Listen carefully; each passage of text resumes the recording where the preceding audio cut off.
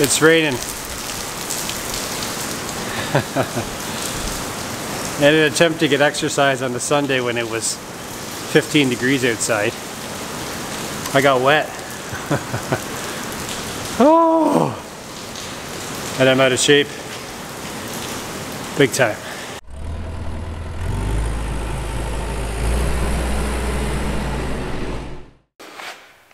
It is so good to be home. Oh my gosh. Uh, you don't really appreciate home until you go away uh, for a while. And being gone, it was over six weeks in the end. Uh, it really makes you appreciate what you have uh, here um, family, opportunity, uh, just everything. So I would recommend it if you can uh, afford it or just have time to do it. I think you need to make time, but I would say every farmer needs to go to a different area of the world and just experience farming through their eyes.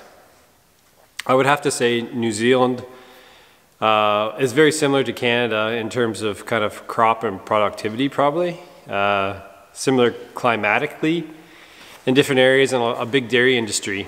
Uh, but Australia was just blew my mind what those farmers can do with uh, very old soils, very weathered soils. And I think for those who watched the videos, you could see how tough some of the areas were.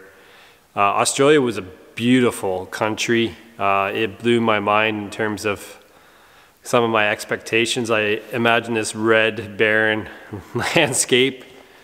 And I know a lot of it is in the middle of the country, but around the edge where there's rainfall, now that they're getting some, it was green and beautiful. And uh, the Australian people and, and the New Zealand people are just great people. Uh, so it really was a quite humbling experience because now that I'm home and I look at the opportunities we have with our soils, uh, we got to do a better job of treating them right because uh, we're just, uh, we're lucky to have such good soils. So I think that's something I learned out of my whole trip was uh, just I got to do a better job. We do a good job. I, I, like to think we do a good job, but we we do need to do a little bit better job, and I think that's why I do work with cover crops and other things. And uh, I think it's just kind of affirmation that we're going in the right direction. So that was a big learning experience for me. The other thing too, in regards to my Nuffield topic around farmer to farmer collaborations, uh, the Australian farmers do a very good job of working together. And I think some of it's forced by isolation, not only as rurally that uh, they're very far apart and it's a very widespread landscape for farming, but as a country, they're fairly isolated as well. And I think it just really forced them to work together uh, because they don't view each other as competition. If a grain farm farm beside each other, there's still the little bit of competition for land, but they see each other not as competitors, but as the world as their competitor. That they have to export their product, and that that is more important to them than competing with their neighbor. And because of that, they work very well together to try to get better yields, better water use efficiency uh, better cost reduction around things. So they do such a good job at that that uh, it was very inspiring. And I think there's a lot of lessons that could be learned there. And I took a lot of notes. So now that I will have to go into uh, two weeks of self-imposed isolation, uh, quarantine, I guess you could call it. Uh, I might start working on my Nuffield report because I got to write it yet. But just happy to be in my shop and I got some stuff I got to do here. So these are planter parts that I didn't get done before I left. So I think that's on the list this week. And I got a few presents while I was gone uh, to Australia, New Zealand. And we had some very old door openers. And now I got some new ones. So I don't actually don't have to hop out, open my door anymore. I got automatic. So I'm getting old, present to myself. So anyways, that's a quick update from my Nuffield trip.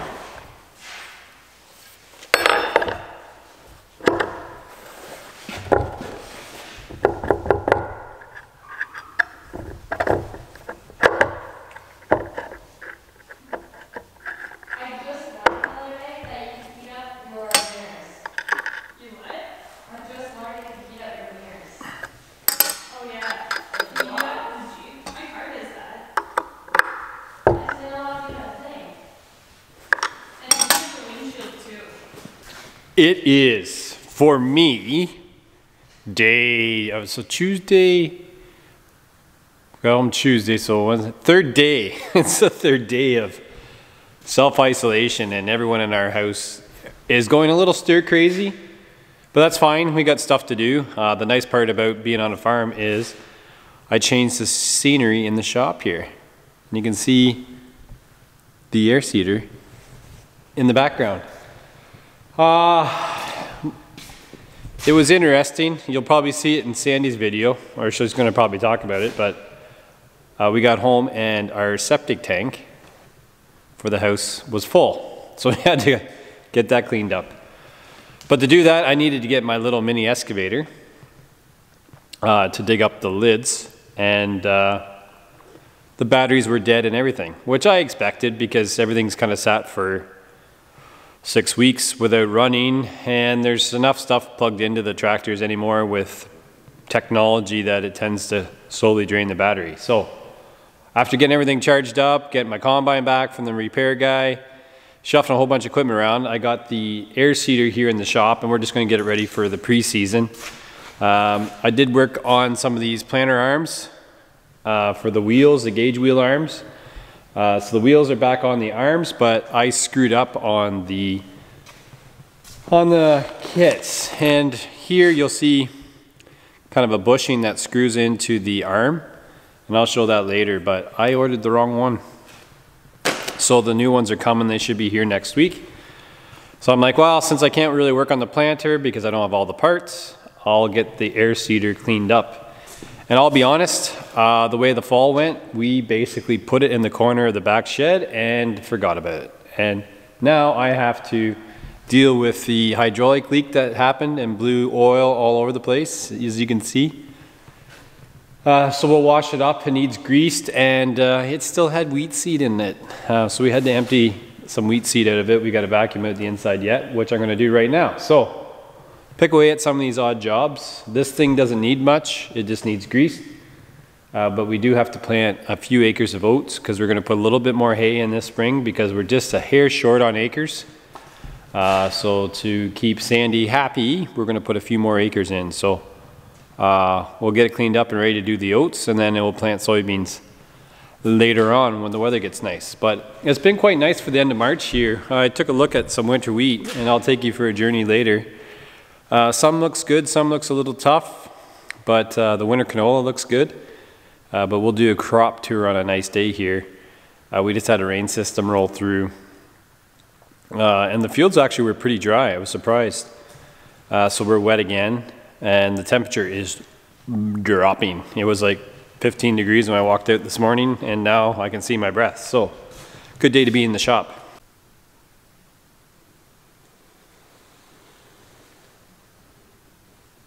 So that stuff we have to vacuum out, uh, which is not too bad. It's probably a total of, I don't know, well, one and a half, two, well, two bushels probably, two bushels. So we'll get that cleaned up. And I need to find the vacuum cleaner.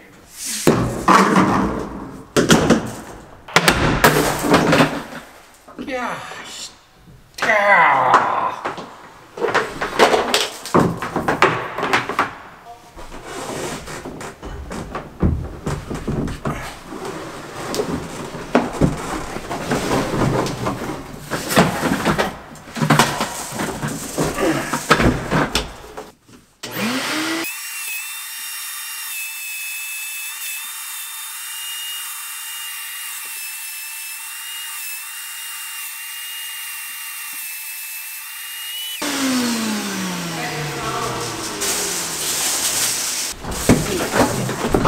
Want me do this for a bit? Oh, yeah, this got started.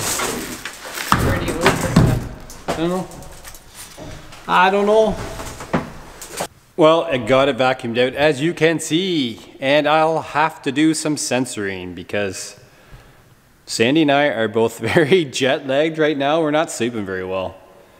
Uh, and uh, we might be a little short with each other, which is fine. And the fact that we're in self-isolation and can't go anywhere uh, adds to the complexity of our relationship. But anyways, I'm going to wash this now and it can sit in here for the weekend because today is Friday.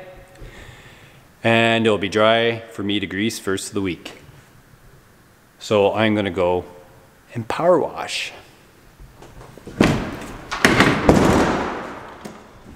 In the wind before it gets freezing cold.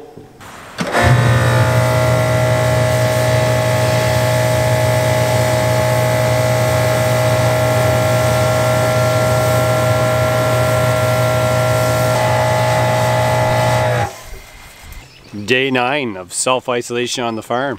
Safe thing to do. So not that probably many people know or that many people care what self-isolation looks like on a farm. But for me, it uh, and Sandy, it's been uh, quiet. I'm getting a lot of jobs done I didn't think I was going to get done because I thought I'd still be in New Zealand. Uh, we're actually shipping corn and wheat Right now, the wheat, I believe, is going into flour mills to make flour. It's interesting with this kind of mandatory lockdown we have here in Ontario, a lot of people have gone back to more traditional methods of cooking in terms of actually baking.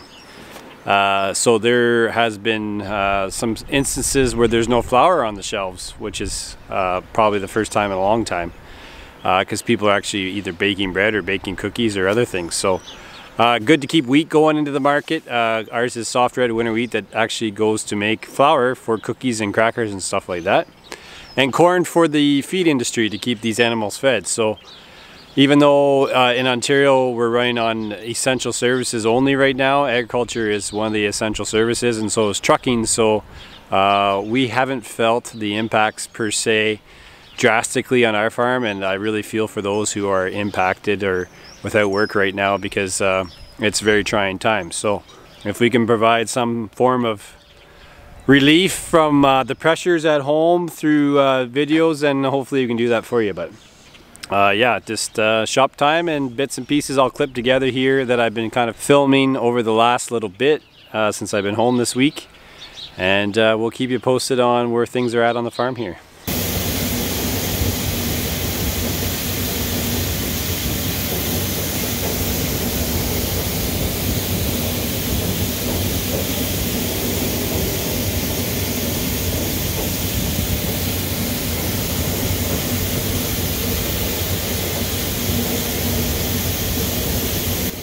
just uh, just wheat this morning. I don't have my camera with me, so I got my phone going.